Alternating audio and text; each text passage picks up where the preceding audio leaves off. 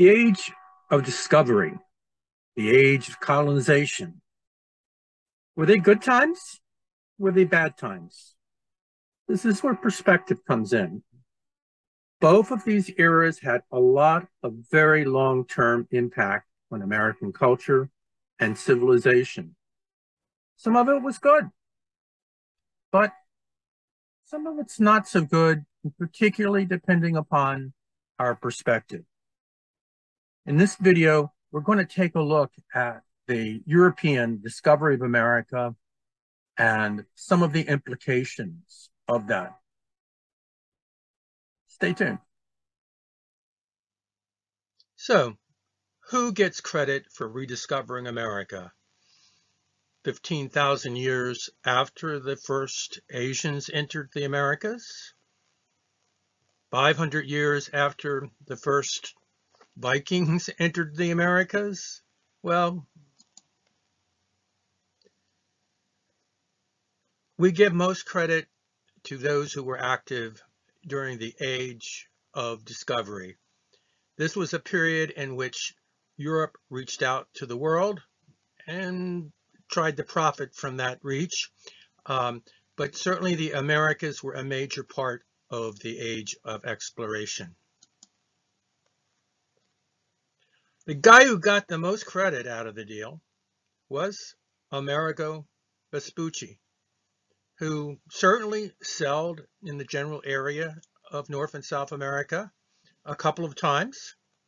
And by luck, I suppose, uh, he managed to get his name onto the first maps that were made of the area. And so he gets credit coming years after Christopher Columbus, centuries after the Vikings, thousands and thousands of years after the Indians. So who did the colonization? That is probably the, um, the more important question because it impacted all the various cultures of North and South America over the long haul. And the leaders in this were the Spanish. Uh, they were the biggest colonizers. They were the earliest colonizers. But the Portuguese were certainly active and they walked away with the prize of Brazil uh, which is a major country in South America. Um, the French made a good effort and they did um, well in Canada, at least for a while. Uh, the British had considerable success uh, on the uh, east coast of what was later to become the United States, the 13 original colonies. The Russians had a piece of North America, Alaska, which was later bought by the Americans um, at the time of the Civil War. Um, the Dutch also were there, and I don't see the Swedes listed, but the Swedes had small colonies also. So everyone was trying to get a piece of the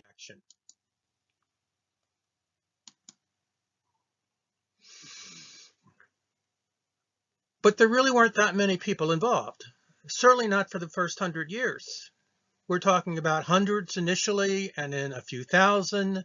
And yet by the end of the 16th century, hundreds of thousands and perhaps millions of Native Americans were dead. Who killed them?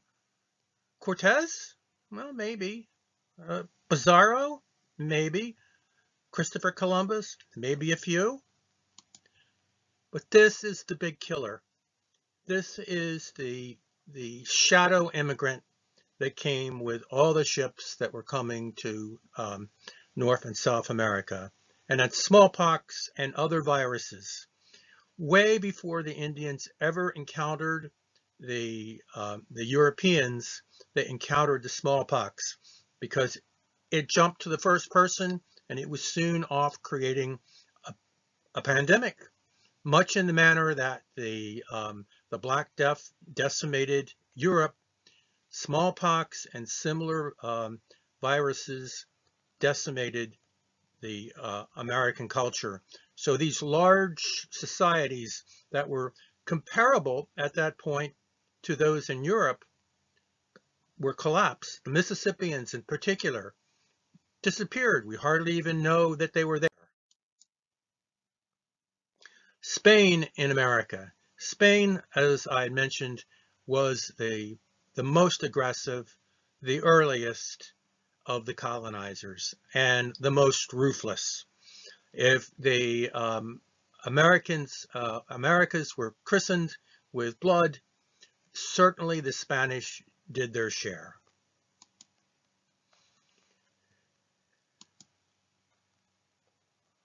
Columbus came first in 1492, established some initial um, colonies on the islands, established the, um, uh, the economic factors that led to first Indian slavery and then slavery of Africans. Cortez came in 1510, 1520, between 1510 and 1520, he was very busy. He managed to collapse the Aztec civilization and to um, bring it to the ground with uh, 300 men. Um, one of his lieutenants, Pizarro, went south and managed to do the same to the large advanced uh, Inca civilization. The Portuguese were also busy and they primarily were at work on the east coast of South America. The, uh, a papal demarcation was um, actually worked out in 1494 that shows it did not take long before the disputes over territory became top level problems if Christopher Columbus arrives in 1492 and by 1990, 1494 we have the Pope involved in trying to settle disputes between the Spanish and the Portuguese on the newfound territories. The French, the French were more in the north. Uh, they also um, were in what became the American um, Midwest. Um, they uh, their incursions were um, probably less bloody. Um, but um, but certainly, you know, not blood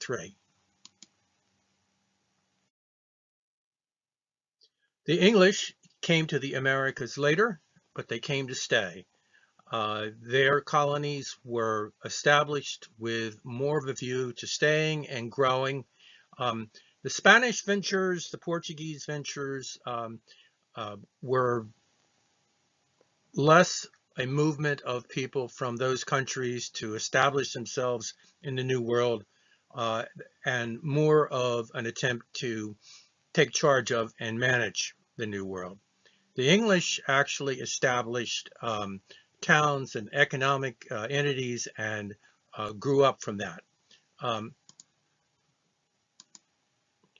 first was Jamestown, um, established more by Cavaliers and then Plymouth, which was established more by people that would have been aligned with the Protestant Revolution in England.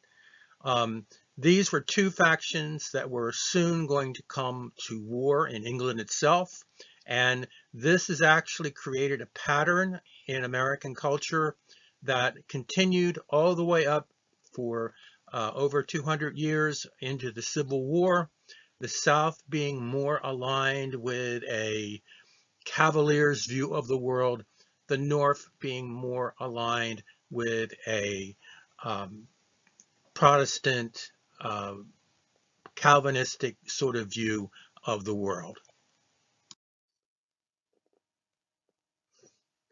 This has been a very quick view of the age of discovery, the age of colonization, and the pattern of uh, settlement that took place in North and South America during the 16th and 17th century. Um, next, we're going to take a look at specifically how the original colonies that became the United States were established and some of the factors that influenced their culture and their attitudes and which led to the creation of the United States. Thank you and see you next time.